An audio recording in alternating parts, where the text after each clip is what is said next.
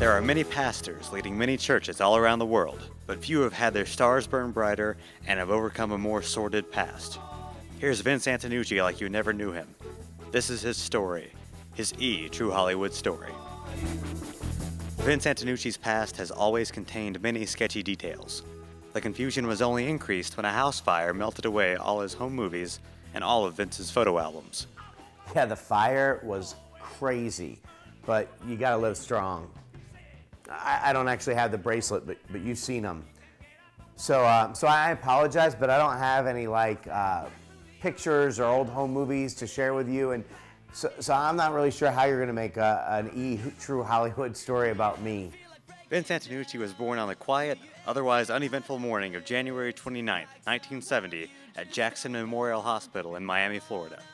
The son of Vincent Dominique and Susan Harriet Antonucci, Vince had a relatively normal upbringing a loving family, good grades in school, playing with kids in the neighborhood.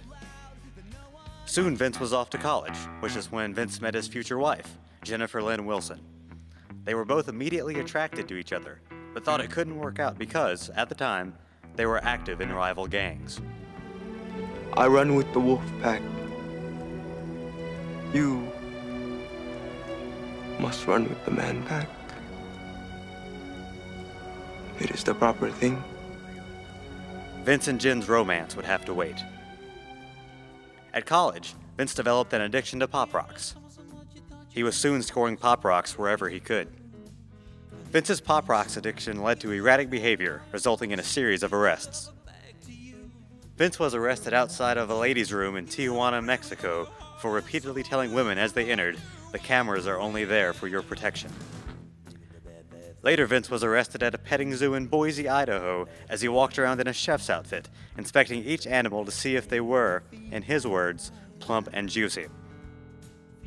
Shortly after his release from jail, Vince found himself back behind bars after his arrest at an airport hotel in Wichita, Kansas, for trying to pass two counterfeit $16 bills. Vince knew it was time to get help when he woke up one day lying in a gutter with a vicious hangover and a Happy New Year hat.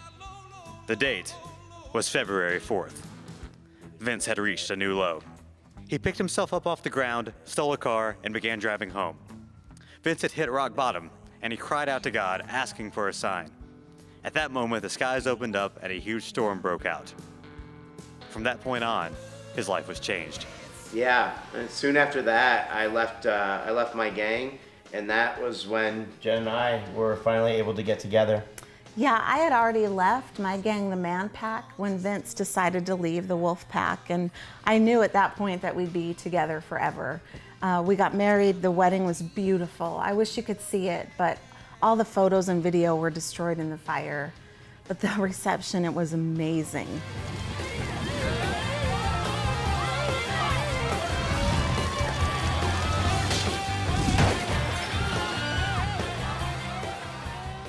After that, our lives started settling down. Well, Vince did struggle to find the right career. Yeah, I mean that's true. I uh, I always had this dream of, of dancing. It was my passion, and and so I decided to go for it for a while. And you know, unfortunately, it was during a, a time when I was gaining weight. Uh, my weight's always been up, down, up, down, up, down, and it was during like a weight gain phase of my life. So I didn't have the, the prototypical body for it but I wanted to be a Chippendales dancer and I didn't care.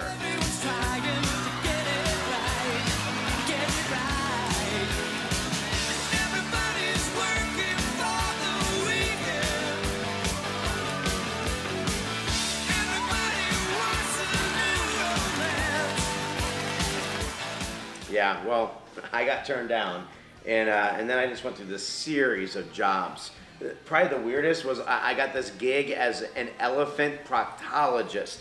The problem is I, have this problem with uh, depth perception.